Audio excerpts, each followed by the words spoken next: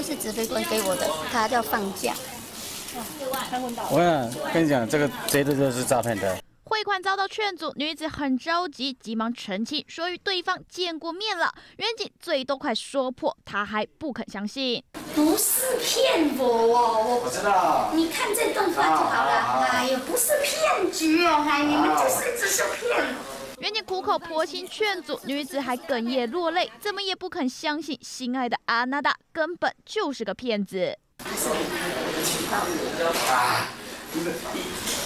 以前是联合国的维和部队了，因为维和部队被我们保持一道的歼灭掉了。他现在要改中国的情报委了。没错，又是他们。脸书放上美籍西南的军人照，先前还假冒维和部队将军，这回成了联合国的高级情报员，表示自己账户被冻结，急需七千美金解锁，相当于台币二十万，还假造简讯说要支付美元给美国的财政部长，理由百百种，不变的是对象都锁定单身熟女，就是用钓鱼的方式啊，针对这一些五十岁左右的熟女。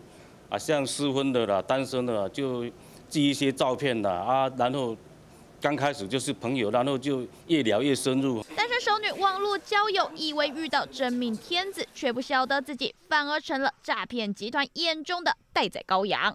记者陈广瑞、谢云台中报道。